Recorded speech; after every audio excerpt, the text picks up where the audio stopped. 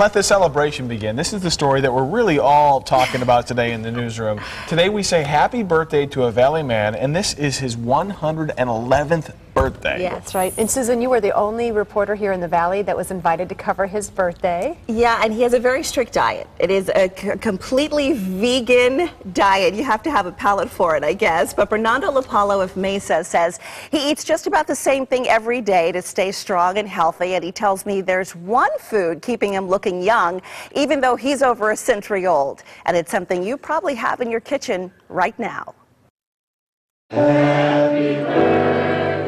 Flashing a huge smile and dressed to the nines, Bernando Lapallo of Mesa is greeted by family and friends at his landmark celebration. Good living, baby, just taking care of my body. Bernando walks a mile every morning, and when he invited us into his home several years ago, he shared with me he sticks to his father's advice of only eating a strict diet. I live on green vegetables, fruit. And the one thing he says he can't live without olive oil. I bathe my feet every night and massage them in olive oil. Never had a corn. I guarantee anybody that you got, I'll take off my shoes right now and my feet are as soft as their face. Bernando was born and raised in New York City and decided to move here to the Valley at the age of 102. I've never been sick in my life and I've traveled all over the world.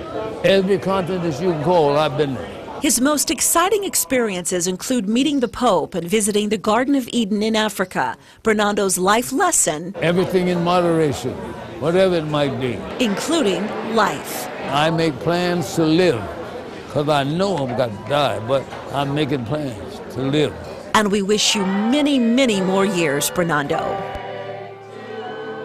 He is so delightful. Well, in addition to olive oil, Bernando's secret to longevity are these four other foods garlic, honey, cinnamon, and chocolate. And Connie and Kirk, Bernando's family, they believe he is now the oldest living American. Isn't that amazing? I'm writing this down honey, chocolate. Honey, chocolate, garlic. Garlic. They all oil. sound good to me. That doesn't seem like, you know, I'm thinking veggies. Right. well, greens. he does eat, yeah, he does eat all the greens every Yeah. day. He has a big old, you know, smoothie in the morning with all of the superfoods in it. But throughout the day, he's got has oatmeal with cinnamon on top and honey, and and he just he's vivacious, and I love it. I love it. I asked him. I said, "Do you have a year when, or you know, do you, is there like a year you want to get to?"